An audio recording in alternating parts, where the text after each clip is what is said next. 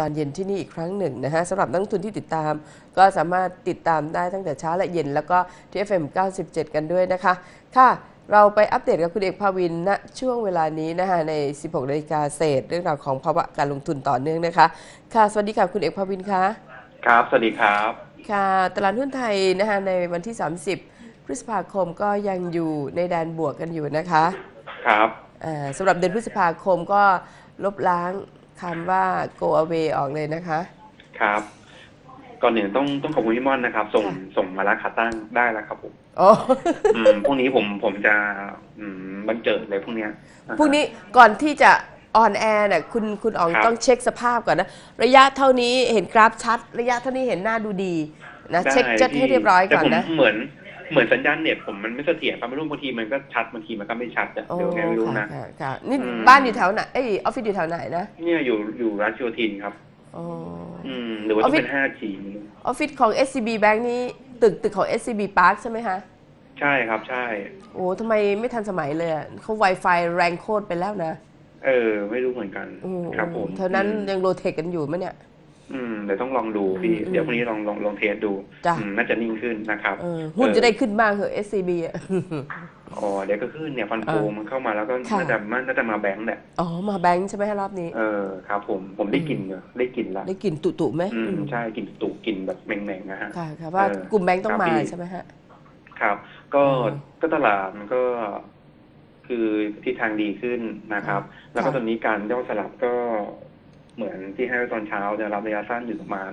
หนึ่งสี่หนึ่งสี่ถึงหนึ่งสี่สองศูนย์ค่ะ อืมครับยอดสลับลงมาไม่ต่ำกว่าก็มอง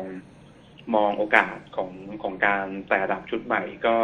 มีแนวโน้มสูงขึ้นหากจากที่เดิมมองเป็นรีบาวด์ก็อืมภาพมันเริ่มเปลี่ยนละ แล้วก็ถ้ารู้หนึ่งสี่สามศูนย์ไม่ได้ก็ซึ่งมองก็มีโอกาสสูงถัดไปเนี่ย ก็จะมีแนวต้านที่หนึ่งสี่ห้าศูนย์นะครับ แล้วก็ หนึ่งสี่เจ็ดศูนย์ตามลำดับค่ะตัว fund flow เข้าก็ผมว่ารอบนี้น่าจะหนักไปทาง อืม ไปทางแบงค์นะค่ะ อืม แบงค์หรือไม่ก็สื่อสารตัว Advance อะไรเงี้ยอืมที่เอ่อยิวก็สรุปก็ยังจ่ายได้ร้อยเปอร์เซ็นต์นะครับจากที่เมื่อวานมีเอ่อ conference ของ Analyst นะฮะ ก็ถ้าซื้อตอนนี้มันก็ยิวหกหกเปอร์เซ็นต์ค่ะก็ถือว่าเป็นระดับมาตรฐาน Advance ที่ส่วนใหญ่แล้วถ้าดูดูแนวรับ ทางทางพื้นฐานนะเขาก็ใช้ yield เหมือนกันแอดวานซ์ค่ะถ้าเห็นสักประมาณหกเปอร์เซ็นต์นะแสดงว่าค่ะซื้อแล้วปลอดภัยละอืมอืมนะครับ ก็เออสามารถที่จะที่จะซื้อได้ แต่ว่า เออต้องบอกก่อนว่าผลการดำเนินงานทั้งปีมันไม่ค่อยดีนะค่ะอืมนั่นจะหวังแบบเป็นแบบมันมันจะขึ้นตลอดทางเนี่ย มันก็ค่ะยากเป็นแค่แบบอาจจะแบบเอ่อรีบาวขึ้นมาบ้างอะไรก็เล่นค่ะเป็นรอบดีกว่า หรือว่าจะถือยาวก็ต้องถือยาวจริงๆนะอืมค่ะครับ เอามาอืมทำผลอะไรอย่างเงี้ยค่ะ ส่วนแบงก์ก็ก็ก็ตามพิมพ์นิยมทั่วไปนะครับ ก็พิคืมพ์อนิยมเอ่อที่ต่างชาติชอบเข้าอะก็เคแบงค์นะครับเคแบงค์นะเอซีบีก็ได้นะครับค่ะอันนี้เป็นเป็นแบงค์ที่ดีที่สุดเลยนะครับค่ะซีบีอืมครับผมค่ะบุคลากรก็ก็ก็มีคุณภาพนะครับค่ะเออครับผมได้ข่าวว่าซีโอลาออกคนหนึ่งแล้วนะอ๋อครับพี่ใช่ครับผม อืมอืมก็ก็ ก็ไปรับตำแหน่งใหม่ไงพี่ถูกปะค่ะ เออ เราก็ผลิตบุคลากรมาแล้วก็ไปรับตำแหน่งใหม่ แล้วคุณอองจะไปรับตำแหน่งที่ไหนไหมอนาคตอะอ๋อผมอยู่นี่แหละครับพี่ค่ะอืมอยู่นี่แล้วแบบมีความสุขก็อยู่ไปเรื่อยค่ะ ครับผมค่ะ ก็ เออนะครับเอออย่าเพิ่งไปไหนเลยสามสามสิบปีนี้อยู่ตรงนี้อะดีละสามสิบปีเลยอะพี่โอ้โหเอออืมนานไปนะโอสิบเคปีสิบปี ส่วนส่วนตัว ตัวหุ้นนะครับหุ้นค่ะ หุ้นอัปเดตมันก็เออ MDCS เนี่ยถ้าต่ำสิบแบบสิบเอ็ดบาทไม่ดีนะแสดงว่ายังไม่ขึ้นละตัวไหนนะคะโรงพยาบาลเกษมราษฎร์ อ๋อค่ะ BCS BCH อืมใช่ถ้าต่ำกว่าไม่ดีแล้วอาจจะ ต่ำสิบเอ็ดอาจจะบาท cut loss อ่าได้ค่ะใช่นะครับ เพราะว่า แสดงว่ามันยังไม่ขึ้นเลยค่ะครับ อ๋อส่วนวิภาก็สองจุดหกแปดเดี๋ยวนะคะวิภาครับตอนนี้มันอาจจะเป็นประมาณแบบ มันอาจจะเป็นการสวิตช์เงินในในตัวไอตัวแต่ละเซกเตอร์อะโรเ t ชันอะนะครับไอตัวที่มันมันเป็นดีฟิสิตหรือว่ามันขึ้นไม่ดีตอนตลาดไม่ดีมันอย่างโรงพยาบาลที่ขึ้นมาเยอะมันก็อาจจะมีแรงขายลงมาเพื่อไปเข้าตัวที่แบบเอ่อกลุ่ม Market Cap นำตลาดอะไรอย่างเงี้ยก็มีความเป็นไปได้นะครับ เออส่วนพื้นฐานก็ไม่ไม่เปลี่ยนเปลี่ยนแค่ไอตัวเม็ดเงินเฉยค่ะๆครับ ส่วนตัว SMT ก็ SMT ตอนนี้หกจุดแปดห้าค่ะต่ำกว่าหกจุดแปดไม่ดีนะครับ ค่ะ ครับผม ค่ะ SMT SMT หกจุดแปดส่วนตัว ตัวธานีลิสซิ่งนะครับ ก็ค่ะเอ่อปรับขึ้นมาอยู่ที่สามสิบเก้าต่ำกว่าขาย lock profit อืมนะครับธานีลิสซิ่งแล้วก็เอ่อไทยนครินทร์สามเจ็ดบาทไม่ดีขายค่ะ นะครับ ส่วนตัว EPG ก็สิบสองเก้าไม่ดีค่ะขาย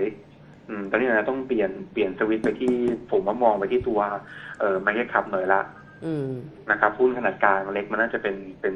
เอ่อมีแรงขายออกมาค่ะนะครับ ส่วนเมเจอร์ก็ยังชอบอยู่นะ ตรงเนี้ยซื้อได้ เออเมเจอร์ตามต่อนะฮะ ครับ ใช่ ไม่ต่ำกว่าสามสิบาทค่ะแล้วก็แนวต้าน สามสิบห้าบาทเหมือนเดิมอ่าเมเจอก็ร์หน้าหนังหน้าหนังยังดีอยู่นะค่ะแล้วก็งบค่ะคิวสองจะดีด้วยค่ะตัวเมเจอร์ ส่วน RS ก็เริ่มแม้ว่าเริ่มดีขึ้นก็อย่าเพิ่งเดี๋ยวรอก่อนค่ะครับ ส่วนตัวหุ้นแนะนำหุ้นแนะนำนะครับ ก็แนะนำ SCN ค่ะ SCN Trading มซื้อได้เลย 7.55 ครับค่ะ7.55 แล้วก็แนวต้าน 8.1ค่ะต่ำกว่า7.3คัดลอสอืม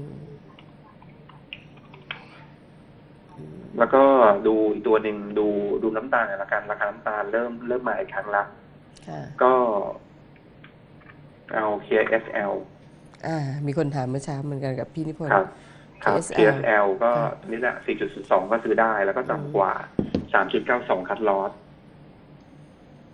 อืมค่ะครับแนวต้านแนวต้านถัดไปอยู่ที่ประมาณ 4.3อืมค่ะครับสองตัว Trading KSL กับ SCN ค่ะแล้วก็ส่วน CDM 16อืมก็รอเป็นรองนะครับที่มาเดียวช่วง 906 910 ค่ะ ครับย่อลอง ครับย่อรองใช่ แล้วก็ค่ะ หลุดต่ำกว่า 900 จุดคัดลอสค่ะ ด้านบน ด้านบนมี 922 และ 934 ค่ะ ส่วนทองคโอ้โหหาวกันวอดวอดๆเลยนะเนี่ยำใครหาวพี่เออที่ที่ที่สตูเหรอทำไมอะครับ ไม่รู้เขาก็ฟังเสียงคุณแล้วหาว พูดทั้งหืมเสียเสียอะไรเสียเสียทรงเลยเสียงกล่อมใช่ไหมอย่างนี้หืมคุณน้องนี่คุณทำเสียงอื้อนี่มันไส้นะเออเสียนั่นเลยเสียเซลล์เลยพูดเสียนะเซลลเออนะฮะก็ทองคำทองคำก็ ก็เหมือนเดิมเลยตอนเช้าอะอืมครับผมวันนี้ถ้าถ้าใครมีสถานะอยู่นะครับอ่า ที่เปิดเปิดเปิดช็อตค้างไว้อยู่อะค่ะนะครับ แล้วก็ เออเงินนะฮะพยายามเปิดกราฟดูด้วยพอดีเพิ่งประชุมเพิ่งประชุมเสร็จมันลี่อืมแนวโน้มตลาดในเดือนเดือนหน้าเนี่ย ครับ ตัวเนี้ยก็เอ่อตัวทองคำเนี่ยมีหนึ่งสองศูนย์แปดนะครับสูงกว่า lock profit ค่ะครับผม ส่วนจะเปิดเปิดช้าใหม่ก็ก็รอฟื้นตัวก่อนละกันอืมค่อย ค่อยเปิดนะครับ ตอนนี้ก็เอ่อมอนิเตอร์สำหรับคนที่ถือ short ไปอยู่ถ้าสูงกว่าหนึ่งสองศูนย์แปด lock profit อืมครับผมอืมแต่ถ้าไม่คิดอะไรมากผมก็น่าปิดแล้วนะ ผมว่ามันน่าจะพื้นบ้างจากหนึ่งพันสองร้อยเหรียญนะที่ลงมาแล้วอะครับ ปิดแล้วก็เนี่ยมาซื้อหุ้น ครับ หมดแล้วครับพี่เป็นประการราชนีครับ ได้ออนเออแอร์หน่อยใน Facebook ไลฟ์อะเออเออได้ได้เออ on โอเค air นะครับ อ่าอ่าค่ะครับได้ คุณออนเตือนเขาเตือนเลยครับเตือนเตือนได้แล้ว เออ มันหลับกันอยู่เนี่ยเออ เฟซบุ๊กก็ไม่ออน หลับกันหมดเลย เออ เออ ตายแล้วคุณเอออ๋องคุณทำให้คนอื่นเขาหลับกันเงิบไปเลยเนี่ย เหรอฮะ อืมอืมอืมเดี๋ยวตื่นคนท่านต่อไปก็ตื่นแล้วพี่อืมอืมครับผมฮะ อืม จ้าจ้าอะ ครับพี่หมดแล้วมีมีคำถามจากทางบ้านไหมครับ มีไหมพี่ ก็เขาไม่ไม่ไม่ออนอะเลยไม่รู้ว่าเนี่ยเด็กพี่ก็หลับกันทั้งบริษัทเลย เอาเหรอออกมาได้ออนเหรอเออ อ๋ออ่าอ่าเดี๋ยวกำลังตามมันออนยี่ยัง อะอะอะคุณอ๋องคุณอ๋องอะคมา รับอะไปได้ได้กำลังตามไปปลุกเด็กพี่แล้วโอเคเฮ้ย เป็นไรทำไมออนแอร์ไม่ได้น้อง เออเหรอเหรออะเขาออกปอ๋กอติเดี๋ยวก่อนนะเอ้ยอืม อ๋อมีสเต็กเออสเต็กที่มอนิเตอร์ไปตอนเช้าก็จ้ะซึ่งจ้ะได้อยู่นะสเต็กออประมาสณเต็กยี่สิบสี่ยี่ห้า ครับอะอะ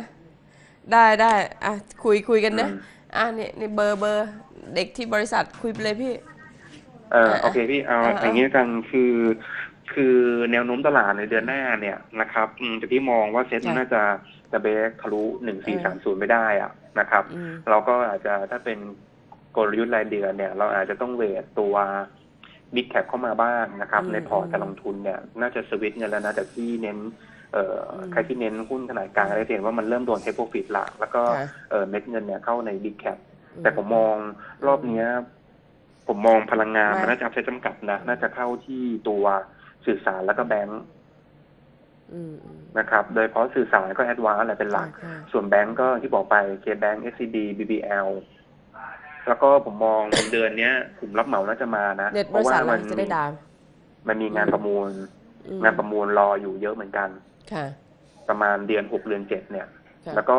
อย่าลืมตัวเสาเข็มด้วยซิสโก้ค่ะก็เริ่มมาแล้วนะจ้าจ้าก็ยังได้อยู่ครับจ้ะผมได้อืมได้ตีมประมาณเนี้ยพี่สเต็กซิฟโก้นะค่ะเอคุณอน้องถ้าถ้าถ้าถ้ารับเหมาชอบสเต็กค่ะเออเสาเข็มเป็นซิสโก้ค่ะครับผมแล้วก็ถ้า big cap ก็เป็นเน้นเอ่อแบงก์อืมสื่อสาร ค่ะ ครับผม อ่า ได้ขอบคุณนะคะ คุณอ๋อง ครับ สวัสดีครับ ค่ะ อ่า นั่นช่วงคุณอ๋องเสียโอกาสไปนิดหนึ่งค่ะคุณผู้ชม ไม่สามารถ on air ได้บริษัทมีปัญหาอีกทีแล้วอินเทอร์เน็ต อินเทอร์เน็ตอีกแล้วนะ ขออภัย ขออภัยคุณผู้ชมนะฮะ เพิ่งขึ้นไปปประมาณหนึ่งนาทีนะฮะ เดี๋ยวเราก็จะแก้ไขข้อมูลให้กับคุณผู้ชมนะฮะว่าเกิดอะไรขึ้นในตอนนี้นะฮะ เพราะว่าทางบริษัทแจ้งมานะฮะ บริษัท ติดต่ออินเทอร์เน็ตก็คือบริษัททรูอีกแล้วนะทรูอีกแล้วนะฮะคุณผู้ชม โอ้ยตายเจอะนะฮะนะนี่เพิ่งออนไปภายในช่วงระยะเวลาหนึ่งทีคุณผู้ชมที่คลาดแคล้วในช่วงประมาณ 16นาฬิกาเศษ หุ้นที่คุณอ๋องให้คือ Advance KBank Major SCN น้ำตาลขอนแก่นนะฮะ เป็นหุ้นที่จะมาในรอบนี้นะฮะสำหรับ